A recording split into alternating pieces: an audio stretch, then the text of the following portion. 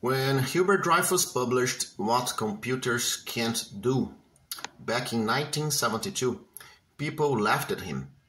He claimed that machines would never be able to replicate the higher functions of human intelligence.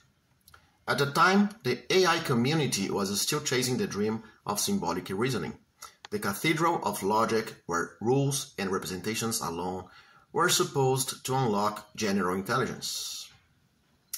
But history proved him right. In the 80s and 90s, that symbolic paradigm collapsed. New approaches, connectionism, and neural networks started to redefine the field.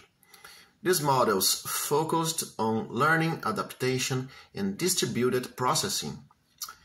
And good old-fashioned AI faded into decline. In this expanded edition, Dreyfus not only explains that shift, he also shows why philosophy is essential to understand it, a move from rigid formalism to questions of context, embodiment, and meaning.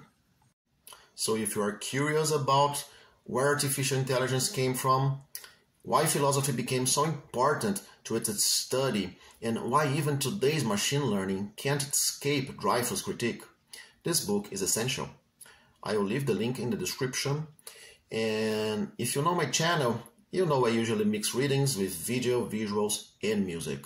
But here I am trying something different. I'm just making a direct invitation. If you buy through my link, you get the book and it also helps support the project. Also, my own Udemy course is here in the link. It explores the history of ideas about the mind and symbolic systems that came before the modern AI revolution. It's called Before the Algorithm.